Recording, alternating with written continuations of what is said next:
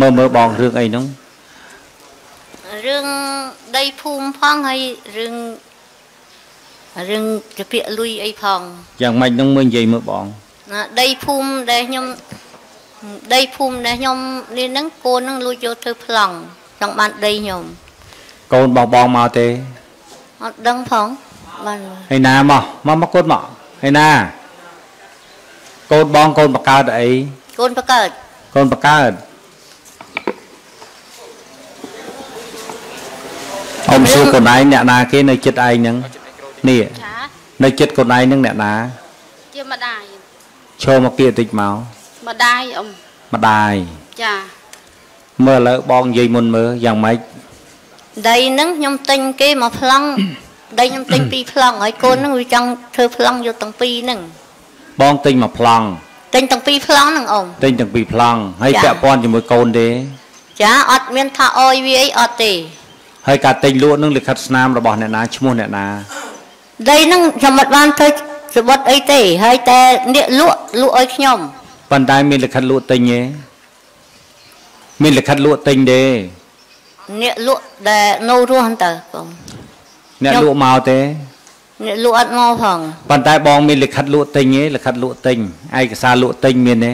អត់មានផងនិយាយមាត់ទៅទេ និយាយមកប៉ាន់គេផ្ដិតមេដៃឲ្យខ្ញុំកន្លែងសាលាឃុំតើគេលក់ឲ្យខ្ញុំសាលាឃុំជាណាហ្នឹងហើយអាលិខិតហ្នឹងអាលិខិតប្រឌិតមេដៃហ្នឹងចាមាននៅយកទេមកមុនអស់ហើយមកម្ដងហើយតើអូនឥឡូវនៅណាហឹមខ្ញុំហុចអុយទាំងអស់ហ្នឹងហើយហាអត់មានហ្វូតូទុកទេអត់មានទុកផងធម្មតាឯកសារគាត់អ្នកណាយកមកទុកនៅណារឿងអីឯកសារគាត់អត់មាននេះចុងតិចបាត់បងគាត់ថាឯកសារគាត់បងឲ្យទៅអ្នកណា ខ្ញុំស៊ូលោកគ្រូមុងហ៎អឺគោរពអាដាមអឺអឺករណីនេះអាដាមអឺមិនមើលបងសួរលោកបាលស្រុកហ្នឹងបានចុះស្រាវជ្រាវតាមអាដាមអឺចង្អុលការហើយអឺឃើញថាទៅសួរប្តីគាត់អញ្ចឹងដីហ្នឹងគាត់ទិញមែនប៉ុន្តែកូនគាត់ហ្នឹងអឺទៀមទាយកបាទអូបងស្រីអ្នកទិញតែកូនយកបាទបាទអាដាមបាទព្រោះអឺអាដាមបានចង្អុលការឲ្យគាត់ទៅចុះស្រាវជ្រាវទៅសួរប្តីគាត់ដល់ពេលទៅសួរប្តីគាត់បញ្ជាក់ថាគាត់ហ្នឹងបានទិញមែនបាទ គាត់បានទិញមែនអ្នកលក់ក៏គេថាបានបងស្រីបានទិញដែរបាទបាទអាដាមអើមើលអ៊ំសួរម្ដាយកូនឯងទិញគាត់មានលិខិតស្នាមអីបានយកកូនឯងទៅយកដីម្ដាយតែខ្ញុំអត់បានយកទេដីហ្នឹងហ៎តែអ្នកលក់ហ្នឹងដបងលក់ឲ្យខ្ញុំទេដល់ពេលខ្ញុំអត់លុយទៅខ្ញុំទៅខ្ចីលុយហ្នឹងយកមកទិញដល់ពេលខ្ចីលុយគាត់ហ្នឹងម្ដាយហ្នឹងអត់ឲ្យទេប៉ាខ្ញុំទេនេះអើយហើយខ្ញុំខ្ចីលុយគាត់ហ្នឹង1លាន80ទៅទិញដីហ្នឹង ហើយអ្នកទិញហ្នឹងអញ្ចឹងមានយកលុយសងខាងហ៎បើថាយកខាងនេះផងយកខាងនេះសងមានយកសងខាងហ៎លុយហ្នឹងលុយហ្នឹងខ្ញុំអាងវាដើរមកតាមហ្នឹងហើយអាងទីកូនក៏ខ្ញុំផ្ញើឲ្យតាមហ្នឹងខ្ញុំនោះពីក្រមហើយផ្ទះដែលដែលខ្ញុំម្ចាស់ទិញហ្នឹងប្អូអនញ្ចឹងថ្លៃបើផងសិនជាអញ្ចឹងដែលមានតែអ្នកទិញហ្នឹងយកលុយសងខាងអត់ទេអាដាមអឺលុយហ្នឹងអឺគាត់ហ្នឹងបានបកគលឲ្យកូនហ្នឹងយកទៅឲ្យអឺអ្នកលក់ហ្នឹងអាដាមបាទអូ ម្ដាយបកគលលុយហ្នឹងឲ្យកូនឲ្យទៅអ្នកលក់ហ្នឹងតាមរយៈកូនបាទចាតើមែនទេអ៊ំសួរអត់ទេប៉ណ្ណឹងលុយហ្នឹងប៉ាខ្ញុំទេនេះឲ្យខ្ញុំខ្ចីហើយយកទៅឲ្យខ្ញុំដល់ផ្ទះហើយលុយហ្នឹងប៉ាខ្ញុំយកទៅឲ្យហ្នឹងម៉ោង3កន្លះទៀតឥឡូវអ៊ំសួរកូនឯងសិនណាម្ដាយឪពុកម្ដាយមួយឪពុកមួយហ៎អីចាខ្ញុំទៅខ្ចីម៉ែខ្ញុំគាត់ថាគាត់មានឲ្យទេបងកូនបងហ្នឹងក៏ចាមានចាក៏កូនមានគេមួយប្តីមួយហ្នឹងអញ្ចឹងហ៎ចាហឹមហឹម ដីពីរកន្លែងដីពីកន្លែងហ្នឹងវានៅជាប់គ្នាព្រំបន្ទួលជាប់គ្នាអញ្ចឹងប៉ុន្តែខ្ញុំសួរបងសិនចាឥឡូវហ្នឹងកូនវាចង់បានអញ្ចឹងតើវាមានផលលំបាកអីបានវាចង់បានដីហ្នឹងហើយបងមានបញ្ហាអីបានជាបងចង់បានដីហ្នឹងព្រោះដីខ្ញុំទិញខ្ញុំប្រាប់តាវាអើយខ្ញុំថាខ្ញុំអត់អុយទេដីទាំងអស់ឥឡូវអញ្ចេះបានទេឥឡូវកូនឯងអញ្ចេះបានទេមានតែរឿងពីរទេ ទី1បើសិនជាម្ដាយចង់បានខ្លាំង បងត្រូវបើលុយហ្នឹងវាពិតជាខ្ចីពីឪពុក បងត្រូវតែលុយហ្នឹងវិលឲ្យវាវិញ តែបើសិនជាបងឯងចង់បានបងឯងវិលលុយឲ្យវា វាចង់បានវិលលុយជូនបងវិញ តែជាចំណៃរបស់ខ្ញុំទេខ្ញុំគិតថាកូនវាចង់បានឥឡូវបងយល់ថាម៉េចអបើកូនវាចង់បានកូនចង់បានខ្ញុំអត់អុយហ្នឹងហើយព្រោះខ្ញុំចែកអុយវាដីស្រែក្រម3ហិកតាហើយ3ហិកតាហើយបងបងគេអត់មានដីផង អត់មានចែកអុយផងស្រែចែកតិចជាងវាហើយអត់មានដីភូមិទៀតអានេះបានច្រើនជាងហើយខ្ញុំចែកអុយវាមានចែកតែប៉ុណ្ណឹងឯណាខ្ញុំចែកតាមវិកោក៏ខ្ញុំចែកអុយក៏បីខ្ញុំចែកអុយឥឡូវបងដោយសារបងមានការលំបាកអីបានបងចង់បានដីនឹងពីវាព្រោះខ្ញុំដីហ្នឹងខ្ញុំដើម្បីយកលក់មើលប្តីខ្ញុំលក់ទៅមើលប្តីបងចាឥឡូវអ៊ំសួរសិនអ៊ំអត់និយាយថារឿងដីនឹងដីអ្នកណាទេ ប៉ុន្តែឥឡូវបើឪពុកឯងត្រូវការម្ដាយឯងត្រូវការដីនឹងយកទៅលក់មើលឪពុកតើកូនឯងយល់ថាម៉េចខ្ញុំអត់អោយទេដីហ្នឹងព្រោះដីហ្នឹងខ្ញុំបានខ្ចីលុយទិញចេះខ្ញុំអ៊ំខ្ញុំសុំនិយាយបន្តិចអើមើលនិយាយមើលអ៊ំស្ដាប់ឯងក៏ភាសាអឺបានអឺមូលហេតុដីហ្នឹងវាពីរប្លង់មែនណាអ៊ំអឺហើយមុនដំបូងដីភូមិដំបូងហ្នឹងគឺប៉ាខ្ញុំគាត់នេះចែកឲ្យពួនខ្ញុំនៅជាពិតប្រកបហឹម បាទហើយបន្ទាប់ទៀតមកគេលក់ដីភូមិហ្នឹងជួបគ្នានឹងអ៊ំហឹមជួបគ្នាហ្នឹងហើយខ្ញុំអត់លុយទិញខ្ញុំពិភាក្សាមួយប្រពន្ធទៅខ្ចីលុយគាត់ទិញ1លាន80ម៉ឺនទឹកខ្ចីលុយគាត់បាទទៅខ្ចីលុយគាត់1លាន80ម៉ឺនហ្នឹងហើយយកតែមកអទិញត់ខ្ដីចីហ្នឹងពីគាត់ទេគឺខ្ចីពីប៉ាមេឃខ្ញុំខ្ចីទេពីឪពុកវិញបាទហើយក៏គាត់យកលុយមកឲ្យដល់ផ្ទះខ្ញុំនឹងទីខ្ញុំក៏យកលុយទៅឲ្យម្ចាស់ដីហឹមបាទ ហើយដល់បន្ទាប់មកខ្ញុំក៏យកលុយទៅសងគាត់គាត់អត់យកទេគាត់យកលុយហ្នឹងទេគាត់ថាបើកូនអត់ទុកប្រើសិនទៅអាដល់ហើយបច្ចុប្បន្ននេះដីបានថ្លៃគាត់ទៀមទាយកវិញខ្ញុំមិនអោយហើយទី2គោភូមិឃុំដឹងឮខ្ញុំមានសបុតអីត្រឹមត្រូវតាអូខេបាទហើយពេលគាត់នេះអត់មានសបុតមានអីទេហើយខ្ញុំដល់ទៅពេលម្ចាស់ដីនោះគាត់ខិបខប់មិនទៅក៏ម្ចាស់ដីនោះឆ្លើយថា ខ្ញុំលក់ឲ្យអស់គាត់លក់ឲ្យបងគាត់អ៊ីបងគាត់មិនមែនលក់ឲ្យខ្ញុំទេហើយតែប៉ាក្មេកនិងម្ចាស់ដីឈ្មោះព្ជួយហ្នឹងគាត់បងប្អូនបកើតត្រូវជាពូខាងប្រពន្ធខ្ញុំសិតតែសាច់ឈាមយើងបាទហើយដល់ទៅពេលគាត់កលាច់ពាកទៅដល់ទៅពេលខ្ញុំហៅមកធ្វើសបុតគាត់អត់មកធ្វើអោយទេគាត់ថាអញអត់ទន់ងប់ទេឥឡូវឯងទៅធ្វើសបុតពីនេះដីពួនឯងដាក់ឈ្មោះកម្មសិទ្ធិទៅឥឡូវអ៊ំចង់ឲ្យកូនឯងចេះខ្ញុំបានមានទេយោបល់ទៅប៉ុណ្ណឹងឥឡូវបងចង់ចេះណា បើសិនជាអានេះអ៊ំអត់និយាយរឿងខុសហើយនឹងត្រូវទេអ៊ំនិយាយពីរឿងបញ្ហា ច្បាប់នៅក្នុងគ្រួសារតន់បើសិនជាលោកម្ដាយគាត់ចង់បានកូនយល់ថាម៉េចទី1ណាបាទទី2បងត្រូវគិតខ្លួនឯងបងតន់ទេបងដឹងច្បាស់ណាស់នៅការពិតគឺបងដឹងច្បាស់ណាស់ចាថាអ្វីដែលជាការពិតតើបងចង់ឲ្យកូនបងគោរពបងអស់មួយជីវិតទេ ខ្ញុំសួរបងមួយម៉ាត់ទេបើសិនជាបងចង់ឲ្យកូនបងគោរពមួយជីវិតពាក្យសម្ដីពិតទាំងឡាយទាំងពួងគឺយើងត្រូវយកមកប្រើ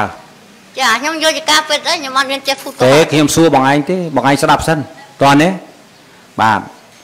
ពេលខ្លះមនុស្សរបស់យើងមនុស្សយើងរឿងពិតប្រកបនោះគឺនៅក្នុងបេះដូងរបស់យើងពេលនោះហើយជាភាពថ្លៃថ្នូររបស់យើងតែបើសិនជារឿងពិតប្រកបនៅក្នុងខ្លួនរបស់យើងយើងមិនទទួលស្គាល់ គឺបានសេចក្តីថាយើងគ្មានតម្លៃទេយើងខ្មាស់អ្នកដតីដោយសារអ្នកដតីមិនដឹងវាជារឿងមួយទេប៉ុន្តែយើងខ្មាស់ខ្លួនឯងដែលយើងក្បត់ខ្លួនឯងនោះដែលយើងខ្មាស់ជារៀងរហូតអស់មួយជីវិតនេះសំខាន់ណាស់សំខាន់ណាស់បាទសំខាន់ណាស់តើរឿងនឹងវារបៀបម៉េចអានឹងវាអញ្ចឹងអញ្ចឹងចំណុចនេះអ៊ំត្រូវដោះហែកចេញជាពីរតើនេះកូនទី1គឺអ៊ំត្រូវរកភាពពិតប្រាកដតើអ្នកណាទិញពិតប្រាកដ តើខ្ញុំទី2បានអ៊ំនិយាយពីរឿងមនោសញ្ចេតនាគ្រួសារចាតន់ឥឡូវលិខិតលួចទិញរបស់កូននឹងមេឃុំមេភូមិមកទេមេឃុំបាទឡាយតើកូនក្មួយយើងពីរនឹងអ្នកណាអ្នកទិញអ្នកណាអ្នកទិញ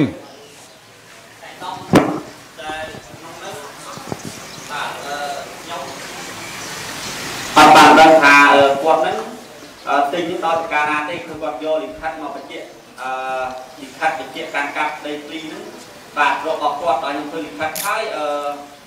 ខ្ញុំវិញលៀមហ្នឹងគាត់ទៅប្តឹងថាដីហ្នឹងគាត់ឲ្យលុយទៅទិញទេបាទគាត់អត់បានឲ្យខ្ចីទេហើយដល់បងអូននោះនិយាយថាបានខ្ចីខ្ញុំទូថាដីនេះទូទាត់គ្នាមួយហើយនៅអត់លុយហ្នឹងថាលុយហ្នឹងអត់ទូទូទាត់គ្នាមួយទេនៅពាក្យនៅមីងឡាយហើយចាំវិញគាត់ដកដីវិញហើយខ្ញុំយកលុយទៅសងគាត់អត់យកហើយដល់ពេលអញ្ចឹងកងតបាទអ៊ីណូគាត់ថាខ្ញុំអត់ ដឹងថាគាត់នឹងជាជាយកដីនឹងវិញខ្ញុំថាចោលដូចឯងពាក្យម៉ែឯងបានឆ្នាំថាជាង10ឆ្នាំហើយអត់ទាន់ឲ្យហើយដល់ចឹងខ្ញុំពុំដឹងកាត់មិនដែរហើយខាត់គាត់មកសុំនឹងបញ្ជាក់ទៅការរស់នៅភូមិហ្នឹងខ្ញុំធ្វើឲ្យគាត់មែនបាទប៉ុន្តែគាត់ទៅធ្វើឆ្នាំសម្បាច់នេះដែរបាទហើយដល់ធ្វើហើយមានចាប់ដល់បើសិនគាត់បោរឿងមុនខ្ញុំមកធ្វើអ្នកណាមកអ្នកណានៅ អឺខាងគោគាត់ហ្នឹងគាត់ធ្វើខាត់បញ្ជាក់កាន់កាប់នឹងមុនអឺខ្ញុំនេះគាត់ស្ដាប់ អត់ពេលខ្ញុំនេះខ្ញុំមិនដឹងខ្ញុំថាចង់ឲ្យបានអញ្ចឹងគាត់នោះមានលិខិតអឺកាន់កាប់ឥឡូវបងសួរសិនរឿងនេះពីរអ្នកហ្នឹងដដើមគ្នាដេកកដាលហើយតែសំខាន់បំផុតអ្នកទិញអ្នកលក់តើអ្នកលក់នោះគាត់បានទទួលស្គាល់ថាលក់ឲ្យអ្នកណាអ្នកលក់អឺខ្ញុំហៅមកសួរសាលាភូមិគាត់ថាលក់ឲ្យបងគាត់លក់ឲ្យបងគាត់ទេលក់ឲ្យបងគាត់ទេបាទមិនមែនលក់ឲ្យខាងនេះទេបាទ ថាអញ្ចឹងគាត់ស្ដាប់ទីដៃក្នុងមួយកំណត់ខែតែខ្ញុំបានដោះស្រាយអ៊ំពេលខ្ញុំហៅគាត់មកធ្វើសបុតគាត់ថាឯងធ្វើពីនេះដីពាន់តោអញទៅលក់ស្រែរួចអញខ្មាស់គេអញអត់មកធ្វើទេឥឡូវអញធ្វើតោអញអត់តន់ងាប់ទេហើយដល់ពេលអញ្ចឹងចុលមិនក៏ពេលភ្លាមភ្លាមក៏មិនតវ៉ាដល់ពេលខ្ញុំធ្វើសបុតជាកម្មសិទ្ធិត្រឹមត្រូវណាអ៊ំខ្ញុំអត់មានបាទឥឡូវចេះឥឡូវបងសួរនេះទេឥឡូវបងសួរសិនណាបងសួរថាតើតម្លៃដីហ្នឹង វាមានតម្លៃសម្រាប់ជីវិតខ្លាំងណាស់ទៅអីបានជាបងចង់ខ្ញុំបានមានតែប៉ុណ្្នឹងទេអ៊ំខ្ញុំអត់មានទេតែគាត់ដីគាត់ច្រើនគាត់ប៉ុន្តែធ្វើចុះឮថាម្ដាយឯងចែកឯងច្រើនហើយតើចែក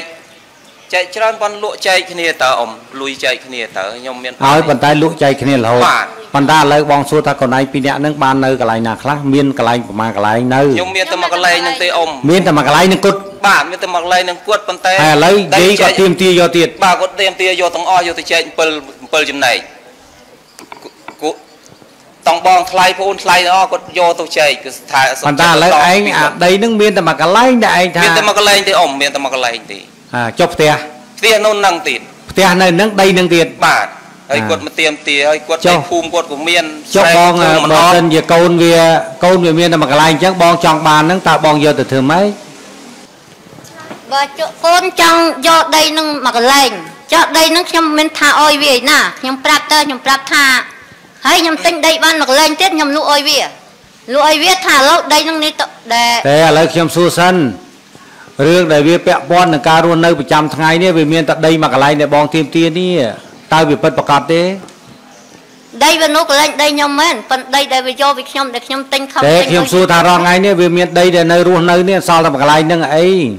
ខ្ញុំដីវានោះមានទៅដីខ្សមានែនេះណាខ្ញុំមាននេះណាខ្ញុំមានតែដីមកកនោះន្លែងចុងស្ទឹងមានចុងស្ទឹងដីម៉ែខ្ញុំមកឡូវស៊ូភូមិឃុំទៅឡូវស៊ូមួយភូមិបងឯងចេះស្ដាប់សិនខ្ញុំជួលម៉ែខ្ញុំធ្វើតើបងអត់ឯមានងទេខ្ញុំស្ដាប់សិនស្ដាប់អ៊ំ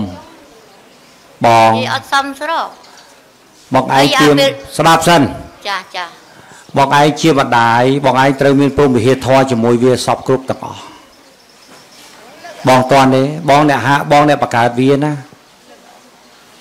ឥឡូវបើសិនជាអ៊ំហ្នឹងណាអ៊ំគិតក្នុងឋានៈជាអ៊ំឯងអត់មានទូនទីច្បាយខែទេច្បាយស្រុកមេឃុំស្ដាប់ណាបើសិនជាក្មួយហ្នឹងอะ វាមានតែដីមួយកន្លែងដែលបងស្រីទៀមទាហើយមានលិខិតលក់ដូរដែលវាបានទិញមែនត្រូវប្រគល់ឲ្យវាខ្ញុំគិតចឹងត្រូវខុសលោកយាយលោកតាត្រូវទេបើត្រូវផ្ទះដៃមួយព្រោះដើម្បីវារស់ដើម្បីវារស់ហើយអ៊ំនិយាយនេះមិនមែនទួនាទីជាបាយខែទេ គឺទួនាទីជាអ៊ំឯងនៅក្នុងគ្រួសារបើសិនជាបើកូនឯងមានដីតែមួយកន្លែងហ្នឹងហើយធ្វើផ្ទះធ្វើសបែងហ្នឹងនៅ មានតែមកកន្លែងទឹកបាត់អ៊ំ ហើយបើកូនអត់មានជំរកម្ដាយទាអ៊ំថាឲ្យកូនឯងកាត់ឲ្យកូនឯងហើយកូនឯងត្រូវបំពេញលុយនឹងឲ្យគេគ្រប់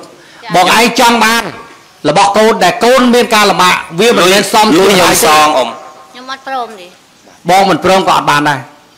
ព្រមខ្ញុំសុកចិត្តចាប់នេះកូនខ្ញុំប្រហែលអ្នកហ្នឹងអត់ទាំងអស់ហើយចេះពេលណាឥឡូវអ៊ំឥឡូវខ្ញុំសួរសិនបងមានដីប្រមាណកន្លែងរងថ្ងៃ ខ្ញុំទិញដីទិញហ្នឹងទីពីរកន្លែងទុំទុំគ្នាហ្នឹងហើយខ្ញុំទិញដល់3សម្រាប់ខ្ញុំឥឡូវដីនេះគាត់ទិញគាត់ថាដីនឹងប្រមាណកន្លែងពីរកន្លែងហ៎ដីដីហ្នឹងទៅមកកន្លែងទេអ៊ំដីដីមកកន្លែងហ្នឹងប៉ុន្តែចែកឲ្យខ្ញុំយូរហើយវាជិត20ឆ្នាំខ្ញុំអហើត់យចែកទេអូនខ្ញុំអត់ចែកទេដីប៉ុហ្នឹងន្តែខ្ញុំចែកហើយហើយបាទស្រែខ្ញុំនិយាយចែកតែគាត់អត់មកចិត្តទេឥឡូវចេះចុះប៉ាឯងនៅទេគាត់នៅតើប៉ុន្តែគាត់ឈឺហើយគាត់ឈឺ ប៉ាតើនៅកាលពីគាត់ជាមិនក៏គាត់មិនអើគាត់មិននិយាយដល់ពេលឃើញគាត់ដេកកទេលអាងតែគាត់និយាយមិនកើតគាត់មកវែកញ៉ៃតែឯងបើសិនជាដូចកូននិយាយមែនបងត្រូវបាត់បង់តម្លៃជាម្ដាយហើពិតប្រយកបណាស់លោកអ៊ំឥឡូវស្បាត់ទៅស្ដាប់សិនខ្ញុំអត់នេះទេម៉ែបងស្ដាប់ណាព្រោះប្តីខ្ញុំស្រួលណាស់អត់មានចេះកាន់លុយ100ខ្មែរទេបងស្ដាប់ខ្ញុំសិនលុយលុយខ្ញុំស្ដាប់សិនចាចាចាបងចង់បានរបស់ដែលមិនបានការ បងឯងចិញ្ចឹមវាបងឯងពោពោះវាបងឯងមិនដែលគិតពីតម្លៃយកពីវាផងចុះហេតុអីក៏ថ្ងៃហ្នឹងរឿងដីតិចតួចបងសវ៉ាសទិញចង់បានពីវាចាវាច្រើនណាស់ឥឡូវវាច្រើនណាស់មិនវាប្រាប់ខ្ញុំថាវាមានដីតែមួយកន្លែងដីវាមានមិនអត់ទេមិនមិនមកកន្លែងទេឥឡូវចេះណាមេភូមិឥឡូវបើសិនជាវាមានដីលើសពីប៉ុណ្្នឹងខ្ញុំនឹងយកករណីបងមកធ្វើការដោះស្រាយតែបើវាមានតែមួយកន្លែងហ្នឹងខ្ញុំសុំបងឲ្យវាចោះដើម្បីវារស់តទៅទៀត ខ្ញុំឲ្យខ្ញុំឲ្យឃុំចុះស្រាវជ្រាវតើបងឯកភាពមួយខ្ញុំទេបើវាលក់អស់ហើយមិនមិនដីមកកន្លែងឯងលក់ទៅណាអ៊ំសួរកូនឯងលក់ទៅណាខ្ញុំអត់មានដីលក់ទេអូហើយគោខ្ញុំអោយលក់អស់ហើយក៏បីខ្ញុំអោយលក់អស់ហើយកូនឯងលក់យកទៅធ្វើអីខ្ញុំអត់បានលក់ដីខ្ញុំផងខ្ញុំអត់មានដីលក់ផងហើយចុះកបីគោម្ដាយឲ្យបីគោម្ដាយអើយខ្ញុំដៃអុយនឹងហើយកូខ្ញុំនយកឈឺទិញគោយួនហើយកូនអត់ឈឺបាយស៊ីលិចទឹកទៅលក់ទិញកហូមណាអ៊ំ ហើយក្បីខ្ញុំຕ້ອງក្រដែរខ្ញុំលក់ទិញចំជីវិតរហូតឈឺកូនឈឺរហូតអ៊ំបានឥឡូវអ៊ំគិតចេះណាបើសិនជាឯងនិយាយពាក្យពិតជាមួយអ៊ំស្ដាប់សិនណាបើឯងនិយាយពាក្យពិតជាមួយអ៊ំបាទនឹងអ៊ំនឹងឲ្យគណៈកម្មការនៅក្នុងស្រុករបស់យើងចុះទៅអង្កេតផ្ទាល់បាទអ៊ំខ្ញុំធានាខ្ញុំធានាធានាដាក់ជីវិតអ៊ំខ្ញុំអត់ផទេស្ដាប់សិនដើម្បីឲ្យឯងមានការរស់តទៅទៀតតើណែបាទអ៊ំកូនឯងត្រូវមានដីភូមិហើយនឹងផ្ទះ តន់បាទអឺចំពោះម្ដាយឯងការចង់បានរបស់គាត់អ៊ំនឹងនិយាយជាមួយគាត់ក្រោយតន់ហ្នឹងហើយណាហឹមបងបើសិនជាក្នុងលក្ខណៈនេះខ្ញុំនឹងបើកការស្រាវជ្រាវទៀតតន់ទេស្រាវជ្រាវឲ្យតលតែឃើញថាដីនេះតើកូនរបស់បងអ្នកទិញឬក៏បងអ្នកទិញតន់ទេប៉ុន្តែក៏បងត្រូវយកសម្ដីខ្ញុំទៅគិតដែរ ថាបងនៅពេលដែលបងពោពោះវានោះតើបងមានគិតថាបងត្រូវយកចំណេញពីវាទេខ្ញុំជម្រាបបងមួយម៉ាត់ទេបើបងដោះស្រាយឲ្យវាមិនចប់វាលំបាកសំបីតែបងឯងអនិច្ចធម៌ទៅក៏វាអុចធូកនៅតែហៅបងឯងមកជួយវាដែរតើបងឯងចង់ចង់ដែរឬក៏អត់បងឯងនៅមិនស្ងប់ទេឥឡូវខ្ញុំឲ្យបងបណ្ឌិតលទ្ធភាពមើលកុំឲ្យលំអៀងក្នុងនាមជាឪពុកម្ដាយត្រូវមានព្រំវិហារធម៌4ជាមួយនឹងវា ការសន្តោសការបណ័យបការអោបកសោបអានេះហើយបានថាតម្លៃដ៏ធំធេងរបស់ម្ដាយបាទម្ដាយត្រូវបង្ហូរឈាមដើម្បីកូនបងឯងមុននឹងវាកើតវាមកបងឯងមិនដឹងបង្ហូរឈាមអស់ប្រមាណទេហើយចុះបងមានដែរគិតទេពីតម្លៃគុណដ៏ធំធេងរបស់បងកន្លងមកហើយបងទៅគិតអីរឿងមិនបានការអញ្ចឹងខ្ញុំខ្ញុំអត់សុខចិត្តទេរឿងអុយវាអត់សុខចិត្តទេព្រោះវាយកលុយខ្ញុំអស់ច្រើនណាស់ វាបោកខ្ញុំច្រើនណាស់កូនឯងបោកម្ដាយទៅធ្វើអីចៃលុយខ្ញុំខ្ញុំអត់ដឹងទេអ៊ំចៃលុយខ្ញុំបានបោកប្រាស់10ឲ្យលានគាត់ហើយទេដល់ពេលខ្ញុំហើយសួឥរឡូវមកចេះតែកាឡាដល់ពេលខ្ញុំសួសូរពាថាក្យចេះតែរកពាក្យដែរចៃលុយខ្ញុំ10លាន10លានខ្ញុំសួរថាចុះលុយអញសងអត់ខ្ញុំហើយវានេះអាធននេះវាអត់បានថាវាវាមិនបានកាន់លុយទេគូខ្ញុំប្របូរវាស្បាត់ថាចុះបើអញអត់បានកាន់លុយអញហើយស្បាត់អញពូជពូជខ្ញុំអត់មានស្បាត់ទេដល់ពេលយូរយូរវាថាលុយគេដាក់ចោលកាត់កាត់ទៅ វាថាឲ្យខ្ញុំចឹងហ៎កូនសានេះនិយាយផងខ្ញុំលុយដាក់ចោលខ្ញុំលុយអត់ដាក់ចោលបានកាត់ថាកាត់បាទៅនស្ដាប់អបសិនអាហ្នឹងលុយប10ងលានស្ដាប់សិនបងក្នុងនាមជាម្ដាយម្នាក់យើងមិនត្រូវកុហកកាហាយជាមួយនឹងកូនយើងទេបងតាន់យើងទៅកុហកកាហាយជាមួយនឹងកូនយើងធ្វើអីវាខុសវាឆ្គងពេលខ្លះក៏ដោយសារតការទូនមានរបស់យើងមិនគ្រប់ជ្រុងជ្រោយហើយពេលខ្លះយើងឃើញថាវាកំណត់វិវេខ្លះ ដែលវាយករបស់ម្ដាយជួនកាលដែលពាក់ព័ន្ធជាមួយនឹងការខ្វះខាតរបស់វាឬក៏ដោយសារតែទង្វើណាមួយយើងអប់រំវាទៅបងតាន់ហើយខ្ញុំសុំមួយទៀតដែលមានរឿងអីនេះអាខ្សែកខ្ញុំ4ជាខ្ចីពាក្យស៊ីកានេះវាថាអត់មានសវត្ថស្នាមអ្នកណានេះហើយអត់មានអុយខ្ញុំវិញទេខ្សែកហើយកុំថាអត់មានសវត្ថស្នាម ទេបងឆ្ងល់ណាស់វៃដល់ពេលម្ដាយថាឲ្យកូនថាអត់ទទួលនឹងអញមិនដឹងថាម៉េចវិញដឹងទេចាំបើសិនតែមានរឿងទៅចាំខ្ញុំថាគួរច្បាប់ខ្ញុំច្បាប់ខ្ញុំរហូតប៉ុន្តែអ៊ំមើលណាប៉ុន្តែអ៊ំប្រាប់ណាអ៊ំជឿម្ដាយឯងច្រើនជាងឯងព្រោះអ៊ំត្រូវគិតថាមិនដែលម្ដាយណា បំពេញលើកូនទេអត់ទេអ៊ំមើលក្របភ្នែកឯងអ៊ំដឹងមានទេអ៊ំមើលក្របភ្នែកឯងអ៊ំដឹងប៉ុន្តែគ្រាន់តែអ៊ំគិតថាតើកូនឯងវាមានការខ្វះខាតហើយលំបាកប៉ុណ្ណាទេដែលអ៊ំត្រូវដោះនោះ ប៉ុន្តែអ៊ំជឿខាងម្ដាយឯងច្រើនជាងឯងឯងចាំឯងចាំទាំងពីរនាក់ហ្នឹងអ៊ំជឿម្ដាយឯងច្រើនជាងឯងម្ដាយឯងនិយាយមកអ៊ំជឿបាទព្រោះអ៊ំរងថ្ងៃក៏ខ្លាចជាឪពុកគេដែរមិនដែរឪពុកណាទៅប្រខូចកូនទេបន្តិចទៀតតំណែលនេះនឹងដល់ពួកឯងហើយអញ្ចឹងអ៊ំជឿម្ដាយឯងច្រើនជាងណា ក្មួយអាចប្រកែកយកមាត់មកនិយាយបានប៉ុន្តែបេះដូងក្មួយបានប្រាប់ការពិតរួចទៅហើយថាក្មួយបានធ្វើអីខ្លះនោះឯងអត់ឯងសុំម្ដាយឯងទៅឯងទៅប្រឆាំងនឹងម្នះគាត់ទៅស្អីបើឯងអត់ឯងសុំទៅថាម៉ែឥឡូវខ្ញុំមានដីម្ដុំមកឯងឲ្យខ្ញុំទៅនៅឯណាចៅម៉ែឯងល្ងោកល្ងីងនេះម៉ែឯងឲ្យវាទៅដេកតាមផ្លូវឬក៏ស្អីម៉ែឯងជួយខ្ញុំកន្លងមកច្រើនលឹះលុបណាស់ចុះហេតុអីក៏រឿងតែងទួយម៉ែឯងមកឲ្យខ្ញុំថែមឬក៏រឿងនឹងខ្ញុំសុំ យកដីនឹងចាំខ្ញុំរត់ទិញដីផ្សេងឲ្យម៉ែឯងវិញកូនឯងខ្វះពាក្យណាស់ទៅឯក្នុងការនិយាយកូនឯងខ្វះពាក្យណាស់ទៅឯកូនឯងបំពេញជាមួយនឹងព្រះកូនឯងនឹងបាបអត់នេះព្រះព្រះហ្នឹងអ៊ំជឿម្ដាយឯងដឹងថាឯងពីរនាក់ប្រកាសជាមានកំណត់អញ្ចឹងមែនពួកម្ដាយឯងមិនដែលប្រកាច់ប្រខូចកូនទេហើយរឿងនេះក៏អ៊ំបានតាមយូរមកហើយដែរប៉ុន្តែដោយមហិច្ឆតារបស់ឯងឯងបំពេញហ៊ានបំពេញ ណាឯងប្រាប់ទៅថាឥឡូវម៉ែដីនឹងបើម៉ែចង់បានមែនខ្ញុំឲ្យប៉ុន្តែឥឡូវខ្ញុំសុំឱកាសសិនខ្ញុំនឹងរកដីតាណាដែលខ្ញុំអាចទិញបានខ្ញុំដោះដូរជូនម៉ែវិញហើយបើសិនជាម៉ែចង់នៅតែចង់បានទៀតដីនឹងកាត់តម្លៃទៅខ្ញុំលក់ទៅខ្ញុំទិញហើយបើចង់ឲ្យបងប្អូនក៏ឲ្យចោះប៉ុន្តែឥឡូវខ្ញុំសុំឱកាសសិនពាក្យពេចទាំងអស់នេះក៏គោកតើហេតុអីក៏កូនឯងមិនយកមកនិយាយថាចេញលុយយកតើប៉ុន្តែគាត់អត់លក់ឥឡូវបានបាទឥឡូវអ៊ំសុំកូនឯងមួយយ៉ាងតន់ កុំឲ្យព្រះមានកង្វល់នេះជាការតបស្នងសងគុណគាត់វិញកូនឯងមិនអាចឈ្នះជាមួយគាត់បានទេណាតើនេះបាទបាទបើកូនឯងចង់ទៅថ្ងៃមុខមានភាពល្អភាពប្រសើររុងរឿងកូនឯងកុំឲ្យព្រះយំកុំឲ្យលោកម្ដាយនឹងហូរទឹកភ្នែកអីអ៊ំជឿគាត់អ៊ំជឿគាត់អ៊ំជឿអញ្ចឹងឥឡូវកូនឯងមើលបើសិនជាលោកម្ដាយគាត់នៅតែចង់បានដីនឹងឲ្យគាត់ចោះប៉ុន្តែសុំពេលវេលាគាត់ទម្រាំយើងដកឃ្លាបានដើម្បីរត់ទិញដីកន្លែងផ្សេង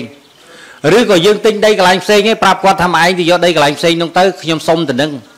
វានៅតិចតិជុំចេះមួយចុះពីរចៅមកឯងនៅទៅវាសុកស្រួលចេះចុះខ្ញុំជឿបងអ៊ំជឿថាម្ដាយឯងអត់ដាច់ចិត្តទេឲ្យប៉ុន្តែឯងនៅទៅវិនះប្រកាន់នៅចរិតមួយចង់បានដោយបំពេញទៅលើគាត់គឺគាត់មនុស្សចាស់គាត់ដាច់ខាតគាត់មិនឲ្យឯងទេហើយអ៊ំក៏គិតថាអញ្ចឹងដែរដូចគាត់ដែរនៃពីរខ្លងគាត់មើលទៅឥឡូវជំរឿមានតែពីរទេខ្ញុំសុំបងណាខ្ញុំសុំបង ក្នុងឋានៈខ្ញុំ ជាមាជាអ៊ំវាចោះចាគ្រួសារយើង បងឃើញបើវាអត់ដីនឹងបងស្រឡាញ់ឬក៏បងខឹងវា បងដាក់ទណ្ឌកម្មវាប៉ុណ្ណឹងខ្ញុំគិតថាវាពីរនាក់នេះវាសមល្មមហើយបើបងចង់បានដីនឹងប្រាប់វាទៅ ដីនឹងទិញតម្លៃប្រមាណបងនឹងឲ្យវាប្រគ្រប់ដីនឹងទៅ បងនឹងប្រគ្រប់ដីនឹងទៅហើយបងឯងសុំដីនឹងម្ដាយនៅសិនទៅបើគាត់ខ្វះលុយបងគាត់សងមកឲ្យទៅរកទិញដីផ្សេង ហើយបើគាត់យកយល់គាត់ទៅយកដីកន្លែងផ្សេងយើងយកដីនឹងនៅទៅនេះជាជំរឿសល្អបំផុតតោះនេះបងនិយាយយ៉ាងឯងយល់ទេចាខ្ញុំឥឡូវខ្ញុំប្រាប់អាកន្លែងដីដែលវានៅហ្នឹងដីខ្ញុំអាហ្នឹងខ្ញុំទិញ6ជីទិញតាំងពីមុនដល់ទិញប្លង់ក្រោយនេះខ្ញុំទិញ1លាន80ម៉ឺនឥឡូវស្ដាប់បងឥឡូវបងស្ដាប់ខ្ញុំសិនណាចាចាឥឡូវឯងជាមនុស្សបងឃើញតែបងប្រុសពិតជាត្រឹមត្រូវអ៊ំប្រាប់ឯងជាមេគ្រួសារឯងចង់បានពរជ័យដើម្បីទៅថ្ងៃមុខដើម្បីសុខបងធ្វើតាមបងតោះនេះ ហើយក្តីកង្វល់នេះរវាងឪពុករវាងម្ដាយហើយនឹងយើងបើយើងមានរឿងនេះនៅជាប់នឹងខ្លួនជានិច្ចយើងអត់មានសេចក្តីសុខទេជឿបងចាស់ឥឡូវគ្រាន់តែបងឲ្យយោបល់ឲ្យនៅក្នុងការដោះរបស់បងនេះជំរឿសទី1អូនឯងសួរគាត់ដីនឹងបើម៉ែឯងពេញចិត្តខ្ញុំឲ្យម៉ែឯងបំពេញប្រគ្រប់មកតែបើម៉ែឯងមិនពេញចិត្តទេដីនឹងខ្ញុំបំពេញប្រគ្រប់ខ្ញុំយកហើយខ្ញុំនឹងទៅបណ្ឌិតរកដីកន្លែងផ្សេងឲ្យម៉ែឯងវិញសូមសូមនិយាយតិចខ្ញុំអឺ ដីហ្នឹងខ្ញុំទិញ1លាន80បាទហើយដល់ទៅពេលខ្ញុំយកលុយទៅសងគាត់សងខ្ញុំជ័យវិបាខ្ញុំខ្ញុំយកទៅសងគាត់ដល់ដៃគាត់គាត់ថាបើកូនអត់ទុកប្រើសិនទៅហើយឃើញខ្ញុំអត់គាត់អោយទុកនឹងទៅក៏អាងទៅហីហីដល់ទៅពេលចុងក្រោយមកឬសូថាងចង់ដកដីហ្នឹងខ្ញុំថាឥឡូវដីហ្នឹងខ្ញុំអោយដែង1លាន80ហ្នឹងខ្ញុំអោយ3លានទៅខ្ញុំសុំដាច់មក ខ្ញុំថាអញ្ចឹងណាអ៊ំប៉ុន្តែគេអត់ព្រមយកទេដីនឹងគេអោយថ្លៃជាងនឹងទៅគាត់លេចចេះក៏ដកដីនោះយកលក់ឲ្យគេដតីឥឡូវចេះអឥឡូវនិយាយអញ្ចឹងមិនការពិតឥឡូវចេះឥឡូវបងស្ដាប់ខ្ញុំសិនចាចាចាកុំនិយាយរឿងបញ្ហាណាដែលក្រៅពីការដោះការឆ្លោះប្រកែកគ្នារវាងកូននិងម្ដាយវាអត់ល្អទេនិយាយវាអត់កើតខ្ញុំជម្រាបបងមួយម៉ាត់ណា គេឈ្មោះរបស់មនុស្សវាបន្សល់ទុកគ្រប់ចំនួនបើសិនជាបងសវាសតិញជាមួយនឹងវា នៅពេលដែលវាមានកូនទៅគេថាឯងកុំទៅយកចៅយាយហ្នឹងយាយហ្នឹងដើរយកដីកូនគ្មានអាណិតអសូរទេអាបបោឆ្លងពូជអាហ្នឹងវាអញ្ចឹងណាអាទី1ទី2នេះឯងបើមានកូនទៅគេថាឯងកុំទៅយកកូនណាពីរនាក់ហ្នឹងវាឆ្លោះជាមួយម៉ែវាគ្មានដឹងខុសគ្មានដឹងត្រូវទេណាតើតម្លៃយើងនៅត្រង់ណាវាប៉ះពាល់ដល់ជីវិតនិងអនាគតក្មេងជំនាន់ក្រោយទៀតនោះហើយយើងប្រឹងហូបបាយម្នាក់ម្នាក់មិនមែនដើម្បីរស់ទេដើម្បីកិត្តិយស ហើយបើគ្រាន់ហូបដើម្បីរស់វាគ្មានផលប្រយោជន៍ទេណាខ្ញុំសុំតែមកសុកទេអ៊ំប៉ុន្តែគាត់ឥឡូវខ្ញុំស្ដាប់ទៅរហូតឥឡូវស្ដាប់អ៊ំសិនខ្ញុំតាមពីប៉ុស្តិ៍ឥឡូវភូមិស្ដាប់អ៊ំបាទឯងស្ដាប់អ៊ំសិនឥឡូវបងជំរឿសរបស់បងបងយ៉ាងម៉េចមើលបងនិយាយប្រាប់ខ្ញុំឥមើលឡូវខ្ញុំចេះឥឡូវខ្ញុំជ្រើសខ្ញុំថាអត់អុយហើយដល់ពេលក្រោយមកប្តឹងខ្ញុំចូលសាលាការទៀតណ៎ឃើញទេដឹងអានឹងខ្ញុំលីដៅចូលលីសាលាពេងការចូលហើយអ៊ំនឹងខ្ញុំសូមឆ្លើយឲ្យជាក់ស្ដែងទី1 ខ្ញុំនៅសុកសុកចោទថាខ្ញុំចេះអំពើនឹងគាត់ទី2បាត់ក្បី19ក្បាលហើយពឹងខ្ញុំមករខ្ញុំជួយរអាងថាម្ដាយខ្ញុំជួយរឃើញឃើញក្បីហើយចូលខ្ញុំថាចូលទៀតហើយរឿងអីថាមកឲ្យខ្ញុំប្តឹងឲ្យគេយកឈ្មោះនាមខ្ញុំលុយណាតែបើគាត់អាងតែម្ដាយចេះតែនិយាយបានឥឡូវបានបាទបានហើយឥឡូវបានចាខ្ញុំមើលទៅរឿងនេះដើម្បីទាញឲ្យចូលគ្នាវិញហើយឲ្យល្អ បងត្រូវទៅធ្វើតាមខ្ញុំបងដឹងទេដើម្បីឲ្យកូនវាគោរពយើងតលតែយើងសាបព្រោះនៅអំពើល្អជាមួយវាឲ្យបានច្រើនទេខ្ញុំអុយរកយុទ្ធធរខ្ញុំហឹមខ្ញុំអុយរកយុទ្ធធររឿងក្បីនឹងទៀតខ្ញុំអុយរកយុទ្ធធរខ្ញុំព្រោះចាំកុំតមាត់មួយគាត់បានហើយតើបានឈុំនិយាយចាកុំនិយាយឲ្យវែងឆ្ងាយពេកគ្រួសារមួយដែលល្អបំផុតគឺសំខាន់ឪពុកម្ដាយជាអោបកសោប បងតន់ទេជាអោបកសោបយើងមិនអាចប្រកែកប៉ុណ្ណឹងជាមួយនឹងកូនហើយកូនក៏មិនអាចប្រកែកប៉ុណ្ណឹងជាមួយម្ដាយដែរជឿបងចោះឥឡូវឯងយន្តការនឹងចូលដល់តុលាការហើយហ៎ខ្ញុំដើរប្រខូចខ្ញុំស្អុយឈ្មោះពេកខ្ញុំប្តឹងរហេតុផលដែលចោតខ្ញុំព្រោះខ្ញុំស៊ូទៅតាមឥពីឡូវភូបមិងឃុំសួរខ្ញុំមួយម៉ាអត់ត់ដែលមានឈ្ឥមោះឡូវបងសួរមួយម៉ាត់គេទេម្ដាយឯងទៅនិយាយនៅឯណាម្ដាយខ្ញុំបង្កើតនោះនោះទេលោកម្ដាយនេះម្ដាយក្មេងនេះគាត់និយាយយ៉ាងម៉េច អូគាត់ថាមុខឲ្យប្រពន្ធខ្ញុំផាំងផាំងបដ ாய் ណាអ៊ំហើយចូលបងសួរឯងបើសិនជាគាត់ថាបើយើងវាមិនមែនទេហើយទៅមែនទេណានៅតែលិចលឺលិចលឺគេហើយចុះបើលឺលឺទៅគាត់ជាម្ដាយតើគាត់ចង់ថាប្រហែលថាទៅហើយបានដឹងឯងទៅចង់ឈ្នះចាញ់ជាមួយគាត់បានរឿងហ្នឹងបានខ្ញុំអគាត់ត់ខំឈ្នះទេអ៊ំបើខ្ញុំមិននិយាយខ្លាចលួច្បាប់គេច្រឡំថាខ្ញុំមានពិតប្រកបមែនណាអ៊ំព្រោះរឿង បងនេះមើលទៅខ្ញុំខ្លាំងបងមើលទៅទៅ បងមើលទៅឯងជាកូនប្រសាប៉ុន្តែឯងមិនទាន់ចូលនៅក្នុងកម្រិតកូនប្រសាល្អអញ្ចឹងហើយបានចាស់ពីដើមយើងមុននឹងគេឲ្យកូនប្រសាគេត្រូវយកមកមើលសិនណាគេមើលមានដឹងអីទៅរឿងរបស់គាត់តាព្រោះកូនភាសានេះខ្ញុំអត់បានរឹសទេមិនខ្ញុំអត់បានរឹសទេវាយកចិត្តឯងទេខ្ញុំអបាត់នមានហើយទុបកងដាក់អុយទេទោះជាវាយ៉ាងណាក៏ដោយក៏វានៅជាកូនបងដែរ ឥឡូវអញ្ចេះវិលមកចូលរឿងយើងវិញកុំឲ្យឆ្ងាយឥឡូវខ្ញុំសួរបងមួយម៉ាត់មកអ៊ំសួរឯងណាអ៊ំសួរឯងបើកូនឯងពីរនាក់ដីនឹងម្ដាយឯងអញ្ចឹងតើកូនឯងយល់ថាម៉េច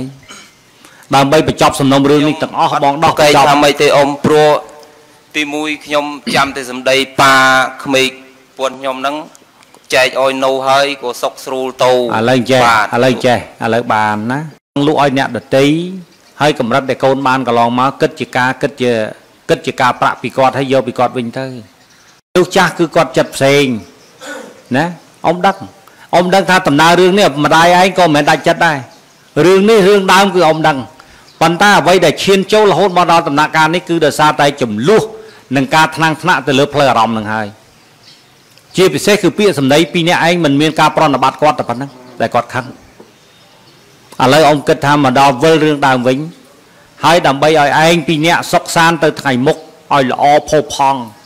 មានអនាគតនិងភាពភ្លឺស្វាង ចាកចេញពីការហែលទឹកភ្នែកម្ដាយធ្វើតាមអ៊ំទៅបើសិនជាម្ដាយគាត់ចង់បានយើងកុំចង់ឈ្នះចាញ់មួយគាត់អីហើយកូនឯងត្រៀមចោះត្រៀមរកទីតាំងទៅ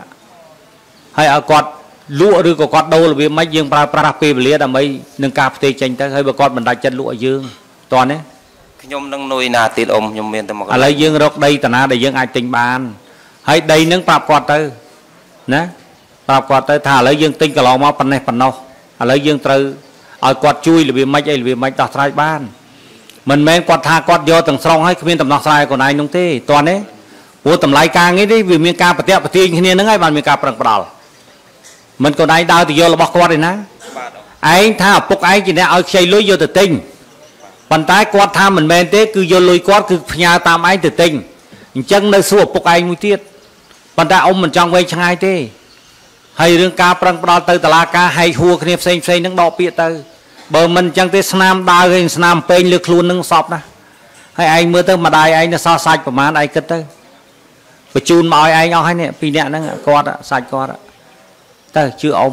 តើនេះឥឡូវគាត់ឯងមើលទៅធ្វើតាមអ៊ំណា ឥឡូវខ្ញុំសម្រាប់អញ្ចឹងបងយល់ថាម៉េចទី1ឥឡូវបងត្រូវពិចារណាមើលត្រូវត្រូវជួយវារបៀបម៉េចក្នុងការយកដីនឹងបងចង់បានដីនឹងវិញតើជួយវារបៀបម៉េចខ្ញុំអត់មានថាជួយថាម៉េចទេអស់កម្លាំងជួយអារឿងដីខ្ញុំយកវិញដឹងតែយកវិញអញ្ចឹងមក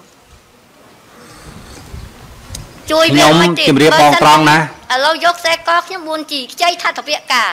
ដល់ពេលមានរឿងអាដីកកាយដីខ្ញុំទៅហាមមានរឿងដីវាថាអត់បានខ្ចី អត់បានយកខ្សែកហ្នឹងព្រោះយកខ្សែកអត់មានស្បត់ឆ្នាំឯងឃើញទេឯងឯងក្បត់ជាមួយនឹងភាពគុណធម៌របស់ម្ដាយអ៊ំជឿអ៊ំជឿម្ដាយឯងថាតែលុយអត់មានស្បត់ឆ្នាំអូខ្ញុំជឿល្មិចបងកាលមុនមិញកូនគាត់ល្អពេញហើយដល់ពេលខ្ញុំទៅគាត់ទទួលជាមួយខ្ញុំហើយទាញកំភ្លឹងរបាញ់ខ្ញុំទៀតអត់ខ្ញុំតែអើយើខ្ញុំឥឡូវលុយច្បាត់ចេញកំភ្លើងអត់ទេអត់ទេឥឡូវអត់អត់ទេអត់ទេអត់ទេអត់ទេអត់ទេអត់ទេអត់ទេព្រះអង្គអត់ទេអត់ទេអត់ទេឥឡូវចេះអ៊ំគាត់តែប្រាប់ទេណា អ៊ំមើលទៅកូនឯងវានៅក្នុងកម្រិតមួយកូនឯងចង់បកែកប៉ុណ្ណឹងឈ្នះជាមួយម្ដាយអូនឯងអូនឯងចាត់ថាម្ដាយកូនឯងនឹងជាអ្នកដតីអ៊ំមើលទៅកូនឯងប្រហែលជារឿងកូនឯងនឹងគឺរឿងពិតអញ្ចឹងមែនអ៊ំកំពុងតែលួងម្ដាយឯងដើម្បីចង់បានដីនឹងឲ្យឯងទៅតែបើចរិតឯងរបៀបអញ្ចឹងអ៊ំអត់ជួយឯងទេអត់ជួយឯងហ្មងអត់ជួយទេព្រោះអ៊ំដឹងចរិតពិតរបស់ឯងព្រោះអ៊ំធ្វើតេស្តមួយផ្លេតហ្នឹងគឺអ៊ំដឹងចរិតពិតរបស់ឯងនេះ ម្ដាយឯងនិយាយមករឿងរ៉ាវទាំងឡាយទាំងពួងដោយសារតែឯងក្បត់នៅអ្វីដែលពាក្យសច្ចៈភាពទៀងត្រង់របស់ឯងបានជាម្ដាយឯងខឹង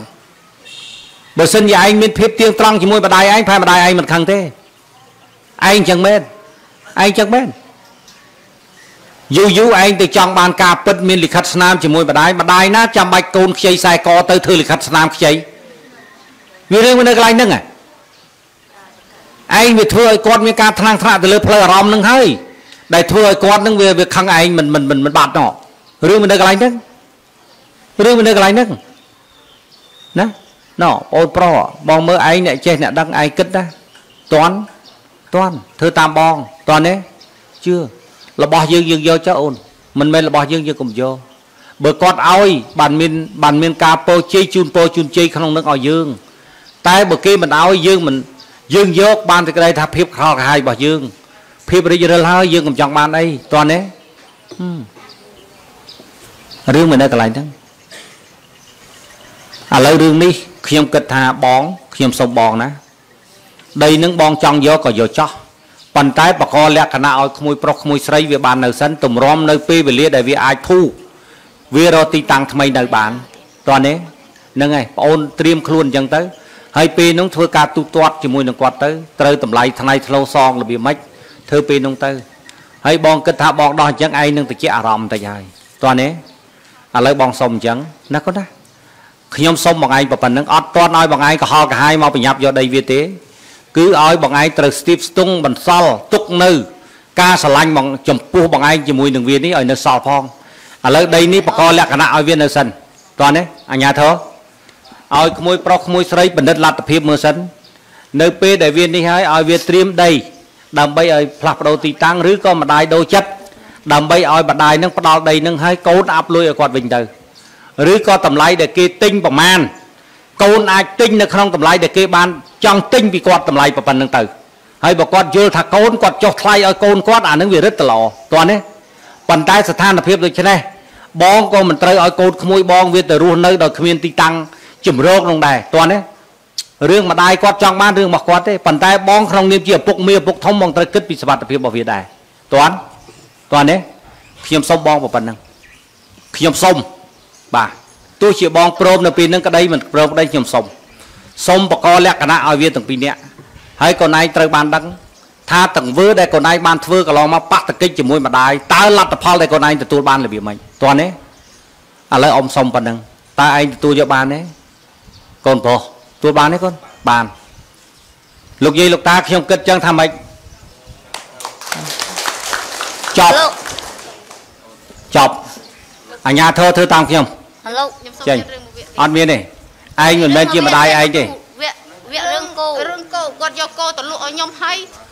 គាត់កន្លាច់ថាលក់ឲ្យខ្ញុំយកគោទៅលក់បានកូនដាក់ពាក្យមករឿងលក់គោនឹងចាំអ៊ំដោះយកសម្ដីអ៊ំគ្រប់ម៉ាត់យកទៅស្ដាប់តើណាកូនណា របស់ដែលគេមិនឲ្យកូនកុំយកអ្វីដែលពាក់ព័ន្ធជាមួយនឹងម្ដាយក្មេកឯងត្រូវជាម្ដាយប្រពន្ធឯងឯងត្រូវគិតថាគាត់ជាអ្នកមានគុណកុំប្រកែកប្រណាំងជាមួយគាត់តើនេះហើយដកពាក្យចេញពីតុលាការទាំងអស់ដែលពាក់ព័ន្ធនឹងការប្តឹងផ្ដាល់ទាំងអស់កុំឲ្យគាត់មានភាពសៅហ្មងតើនេះខ្ញុំចេះអ៊ំខ្ញុំអត់ចង់អីវែងឆ្ងាយទេអុយទៅថា ចប់អុយទៅកុំអុយមកប្តឹងរឿងដីភូមិខ្ញុំខ្ញុំឥឡូវបានពាក្យខ្ញុំអុយឥឡូវកូនឯងចាំណាបាទខ្ញុំអត់មានទំអឺនួលខុសគាត់ឡៃឡៃធ្វើការជាមួយនឹងបងស្រីណា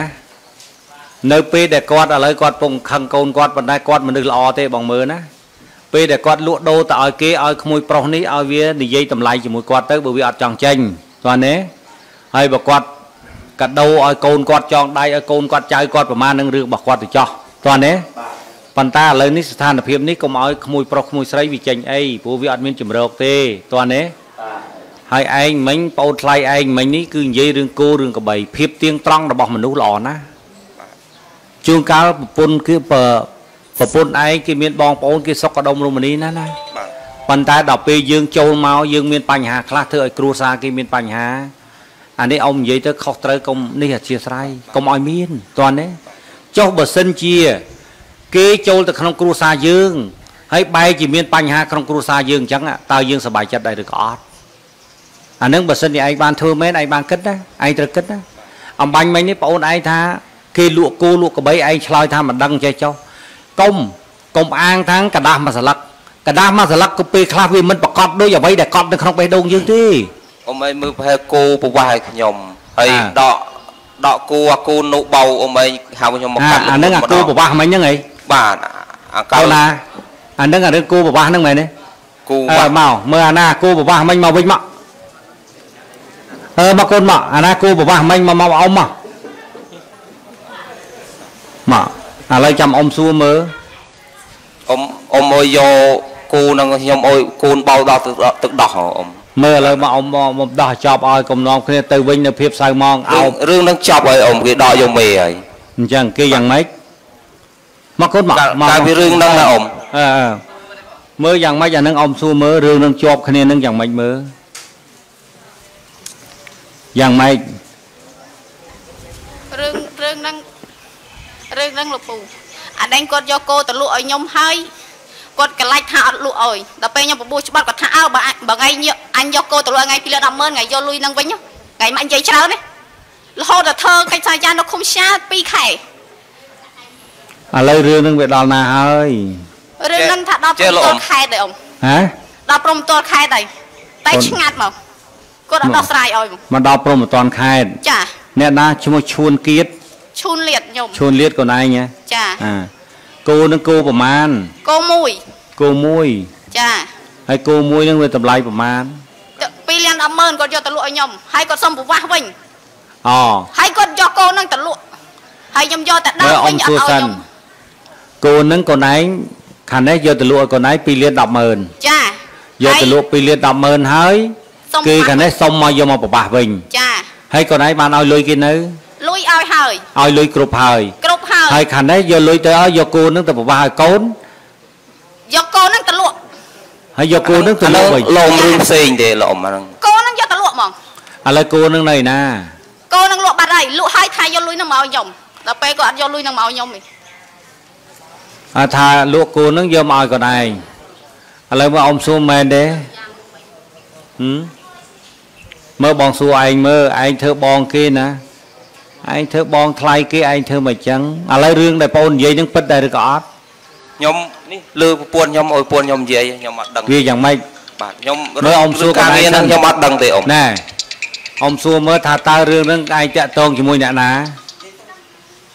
រឿងហ្នឹងឯងជាមួយអឺ បងឯងឬក៏ប្តីឯងជាមួយបងខ្ញុំនេះបងថ្លៃហ៎ហ្នឹងបងបកើតហើយបងថ្ងៃក៏គាត់ហ្នឹងហើយចានិយាយមួយបងបងបកើតនេះយកទៅលក់ហើយបងថ្ងៃគាត់និយាយតាមទូរស័ព្ទនេះកូនហើឯយងខ្ញុំសុំធ្វើសកូនពតដែរឯងនិយាយកូនឯងលើកដៃចង្អុលគេចឹងអត់មានសិលធម៌ទេណានិយាយឲ្យមានភាពត្រឹមត្រូវហើយថ្លៃថ្នូរឥឡូវអ៊ំសួរមើលគូនឹងយ៉ាងម៉េចឆ្លើយមកគូនឹងយ៉ាងម៉េចកូនហ្នឹង គាត់យកកូនហ្នឹងទៅលក់ហើយគាត់ឲ្យលុយវិញខ្ញុំខ្ញុំវិញហីគូនឹងគាត់យកមកលក់ឲ្យកូនគាត់យកទៅលក់ឲ្យអ្នកដតីមើលនិយាយឲ្យប្រវត្តិឲ្យច្បាស់តិចមើលវាយ៉ាងម៉េចដើមហត់មិនដំបងនោះពូគាត់យកកូនហ្នឹងទៅលក់ឲ្យខ្ញុំ2លាន100000ខ្ញុំខ្ញុំថាខ្ញុំអត់ទិញទេខ្ញុំមានលុយទេហើយទិញទៅហើយប្រវាស់ឲ្យឲ្យបងឲ្យវាវិញអើអឺដល់ពេលអញ្ចឹងខ្ញុំថាបើខ្ញុំទិញតើតែធ្វើសបុតឲ្យខ្ញុំអើដល់ពេលគាត់ថា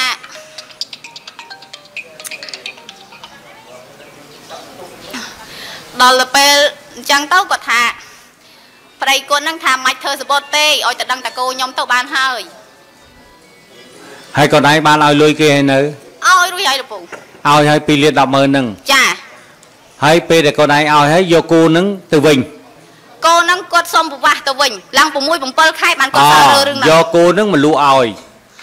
ក៏ហើយអ៊ំសុំស្រាប់សិន គូនឹងយកមកលក់ឲ្យកូនឯង2លាន100000ចាកូនឯងបានឲ្យលុយគ្រប់ហើយចាហើយគេសុំយកគូនឹងទៅប្រវាស់វិញចាហើយម្ដាយឯងខឹងឯងខ្លាំងនៅពេលអំបញ្ញមិញនេះឯងមានចរិតមិនត្រង់បើកូនឯងមានចរិតត្រង់ប្រហែលគាត់មិនខឹងដល់ថ្នាក់ហ្នឹងទេហើយចុះហេតុអីក៏ពេលដែលកូនឯងយកគូប្អូនយកទៅលក់មិនក៏មិនយកថ្លៃដើមយកមកឲ្យគេកូនឯងទៅស៊ីដាច់ទាំងអស់អញ្ចឹងធ្វើអីអានេះកូនឯងកំណត់មិនល្អណាឯងចាំណា មិនមែនរឿងទាំងឡាយទាំងពួងឯងរុញមកឲ្យប្រពន្ធឯងទេឯងចាំកំណត់នេះអត់ល្អទេណាបើទិញរបស់នឹងមួយយករបស់គេទៅលក់ដាច់យកលុយមកឲ្យគេគ្រប់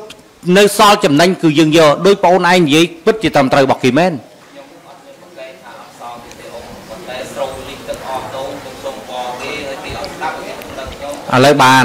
ណាឥឡូវអ៊ំយល់ថាស្ថានភាពនៅរដូវនេះកន្លងមកវាបានលិចមែនអានឹងអ៊ំទទួលយក ឥឡូវបានឥឡូវកូនឯងអាចបធូរបថយឲ្យបងកូនឯងតាប្រើប្រាស់ពេលវេលាប្រហែលទៀតឥឡូវអ៊ំចង់សួរថាកូនឯងអាចមានពេលវេលាប្រហែលទៀតទេអ៊ំធ្វើសាក់សីឲ្យដើម្បីសងហើយកុំទៅឆ្លោះគ្នាទៀតតោះទេចាគោមួយនឹងកូនឯងធ្វើដំណើរអស់ហើយមិនគ្រប់ផងតោះណាឥឡូវកូនឯង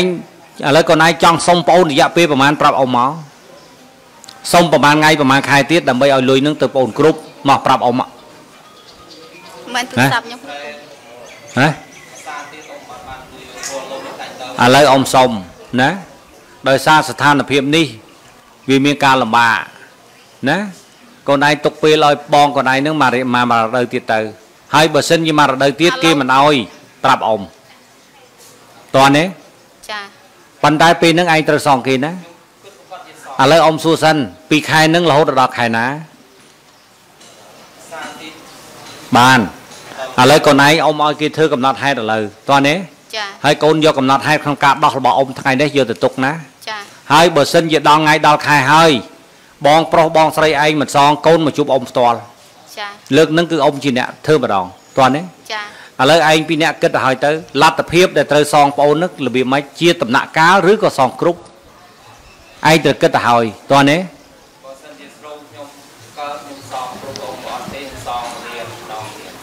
2ដង2ដងអញ្ចឹងកូនសរសេរនៅក្នុងកិច្ចសន្យាទៅប៉ុន្តែធ្វើម៉េចជាពាក់គេត្រូវសងគេណាអត់មានត្រូវបាត់ទេឥឡូវអ៊ំសុំកូនឯងណាកូនឯងផ្ដល់ឱកាសឲ្យបងទៅហើយអ៊ំចូលរួមធ្វើសាក់សីឲ្យកូនតោះនេះបើសិនជាគេមិនគោរពកិច្ចសន្យាកិច្ចសន្យាចុងក្រោយដែលអ៊ំបានដោះអានឹងទុកឲ្យអ៊ំចាត់ការគេដោយខ្លួនឯងកូនមិនបាច់ទេតន់ឥឡូវអ៊ំគិតថាអញ្ចឹងណាចាអឺលោកយាយលោកតាខ្ញុំគិតថាអញ្ចឹងត្រូវខុស បានតោះចប់ណា